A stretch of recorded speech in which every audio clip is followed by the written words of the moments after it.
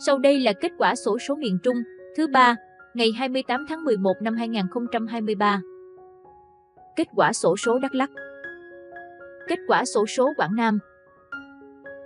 Ngoài ra còn có 9 giải phụ đặc biệt dành cho các vé trúng 5 chữ số sau cùng theo thứ tự hàng của giải đặc biệt 6 chữ số, mỗi giải trị giá 50 triệu đồng.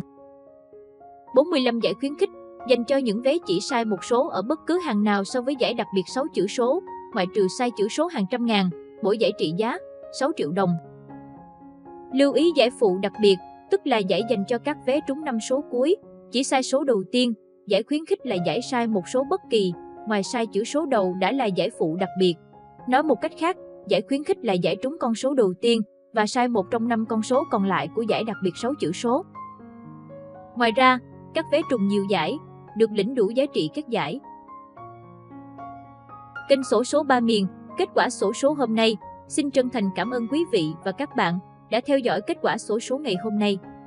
Nếu thấy thông tin đáng chú ý, hãy bấm nút đăng ký và ấn phím chuông để nhận được thông báo cập nhật kết quả sổ số mới nhất. Và đừng quên bấm nút thích bên dưới để ủng hộ kênh phát triển hơn. Chúc mọi người sẽ được thần tài gõ cửa trong một ngày gần nhất. Mến chào và hẹn gặp lại!